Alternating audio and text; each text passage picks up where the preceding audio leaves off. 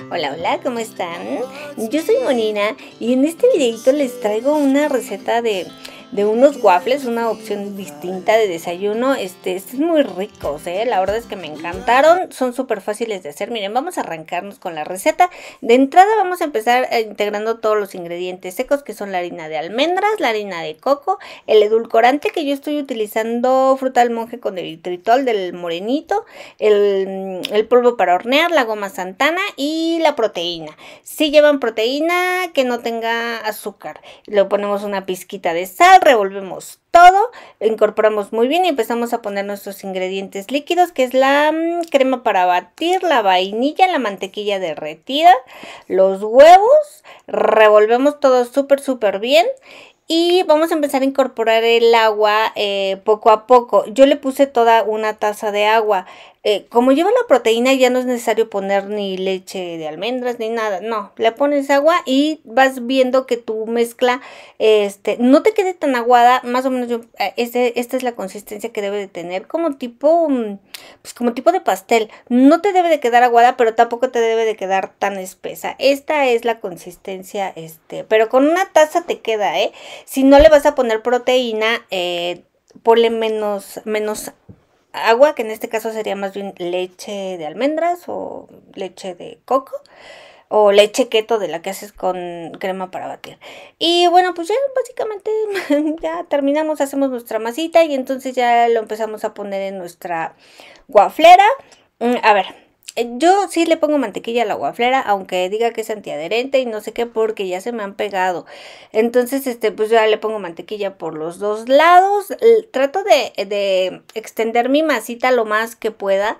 Eh, la, cierro la guaflera, le dejo tres minutos a los 3 minutos en esta guaflera ya quedan y los voy a sacar con mucho cuidado. ¿Por qué? Porque es una, o sea, estos no son, o sea, son frágiles, no es una masita con gluten, este, nada, o sea, sí se te pueden desbaratar y, si lo sacas así como que hay rápido, sí se te van a quebrar.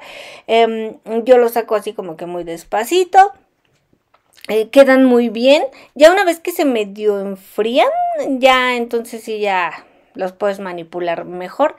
Pero cuando están así recién saliditos, pues sí sácalos con cuidadito. Ya nada más yo terminé de hacer todos mis waffles y medio les recorté las orillitas para que no se vieran como que tan mal hechos. Pero este, pero pues, si no, tú cómetelos así con la orillita, eh, con el, los solanes y así. Sabe muy rico, es una receta que de verdad es muy fácil. Yo lo intenté hacer como tipo este mm, hot cakes y no me salió, eh. O sea, la misma masita la quise hacer en el sartén y no, o sea, esta sí es para waffles únicamente porque en el sartén al momento de voltearlos a mí se me rompía y entonces no. A lo mejor te puede servir para cupcakes, es probable que sí. Pero esta masita es ideal para waffles, ¿eh? Es un desayuno, te digo, muy diferente. De, esta masita me salieron nueve, nueve, waffles. Ya nada más aquí pues terminé de hacer todos mis waffles. Miren, aquí les estoy mostrando cómo es que ya una vez que están un poquito fríos, mm, ya no se te van a romper. Eh, háganla, de verdad es muy rica. Yo, e, este por ejemplo, miren, lo probé así sin más nada, no le puse absolutamente nada. Sabe muy bien así solito, pero bueno, al final del día yo les quise poner un poquito de, a uno le puse Nutella y a otro un poquito de mermelada de esta mermelada que tengo sin azúcar. Y pues ya unas fresitas, unos frutitos rojos y eso es todo. Muchísimas gracias por ver el video completo gracias por suscribirse a mi canal. Esto sería todo y nos vemos en un próximo videito. Les mando un gran abrazo deciden ser muy felices bye bye